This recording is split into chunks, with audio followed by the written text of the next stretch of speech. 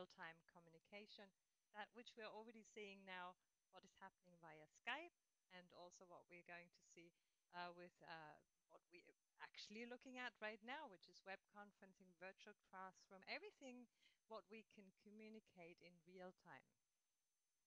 And part of that real-time communication takes also place in virtual worlds. Yeah, and we're also talking about uh, World of Warcraft and these multi uh, million, million user games that are out there, synchronous communication, team working, and so forth. And peer-to-peer communities. Why are they so popular? Why? Because you can actually communicate in real time with a native speaker. Then we see events like the IATEFL conference where like online live things are happening you can watch and listen on. And perhaps you've come across a couple of these web shops that talk about uh, live chat. Click here to talk to a salesperson live which computer to go. Now this real time as uh, the person who coined Web 2.0 was Tim O'Reilly and in April this year they came out with this book called real time and they were talking about the real time web and I thought that's it.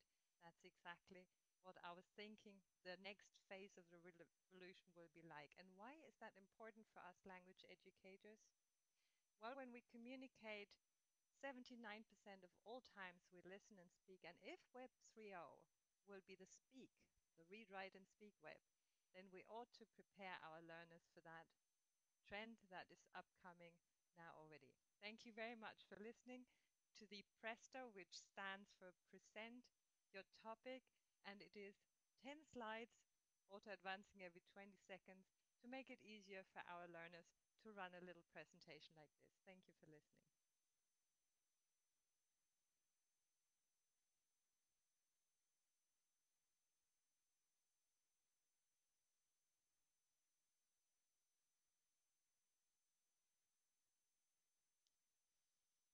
Didn't see anything. That's when the when the slides run in front of you. That it's totally you have no webcam, nothing, no chat. uh, kudos to Jeff, Marissa, who all you know looked at this. Thank you very much. Yeah, thank you for joining. Yes, thank you all so much. That was fantastic. That was a great way to end the evening. And um, tomorrow we will be having um, bright and early in the morning. We will have uh, more pre um, presentations and things like that. So um, please join us. Uh, we had a lot of great ones today, and I'll put up the link to the schedule.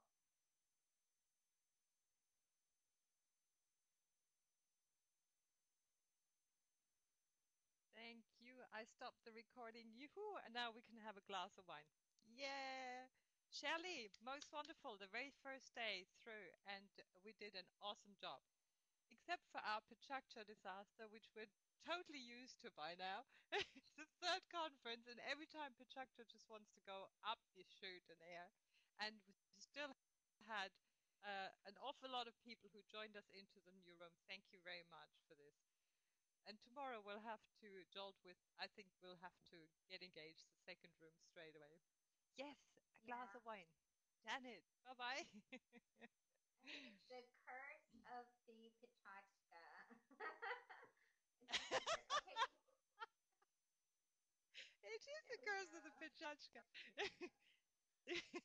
now I'm going to start saying Pechachka in the way that you're doing it. Anybody, anybody who listened to this Web 3.0, is that really far-fetched, that what I think? That it's the read, write, and speak web? I don't think so. We start with the ELT chat panel in the morning. Um, yes. GMT 6.30. Here are the other times. Uh, well, actually, here's the event. So, Marissa, I will see you here. Our time, 8 o'clock? No, no,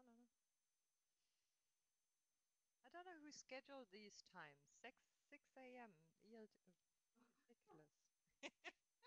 okay, 8 o'clock in the morning for us in Stuttgart and in Germany. yeah. Bye bye, night night.